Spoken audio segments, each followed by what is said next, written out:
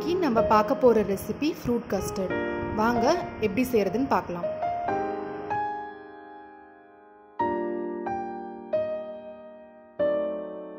ஒரு பாத்திரத்தில் ரெண்டு கப் பால் ஊற்றி அதை நல்லா கொதிக்க வைங்க. ஒரு பவுலில் ரெண்டு டேபிள் ஸ்பூன் கஸ்டர்ட் பவுடர் நாலு டேபிள் ஸ்பூன் பால். இதை சேர்த்து நல்லா மிக்ஸ் பண்ணி எடுத்து வச்சுக்கோங்க. பால் நல்லா கொதிச்சு மேலே வரைச்ச நம்ம மிக்ஸ் பண்ணி வச்சுருந்த கஸ்டர்ட் பால் கலவையை அதில் ஆட் பண்ணிக்கோங்க. இது கூட நாலு டேபிள் ஸ்பூன் சர்க்கரை சேர்த்துக்கோங்க. கஸ்டர்ட் பவுடர் போட்டனால பால் கெட்டியாகும் அதனால கிளறி விட்டுட்டே இருங்க. கஸ்டர்ட் மிக்சர் ரெடி ஆயிடுச்சு இது நல்ல ரூம் டெம்பரேச்சரில் ஆற விடுங்க. ஒரு பெரிய பவுல் எடுத்துக்கோங்க.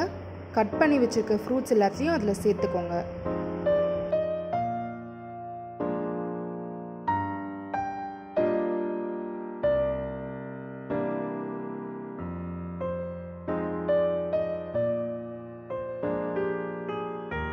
ஆட் பண்ண ஃப்ரூட்ஸ் எல்லாத்தையுமே நல்லா மிக்ஸ் பண்ணி எடுத்து வச்சுக்கோங்க.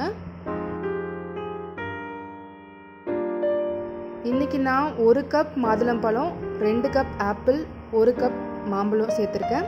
நீங்கள் எந்த ஃப்ரூட்ஸ் வேணாலும் சேர்த்துக்கலாம். இப்போது இந்த ஃப்ரூட்ஸோட நம்ம கஸ்டர்ட் மிக்சர் ரெடி பண்ணோம் இல்லையா? அதையும் சேர்த்து நல்லா மிக்ஸ் பண்ணிக்கோங்க.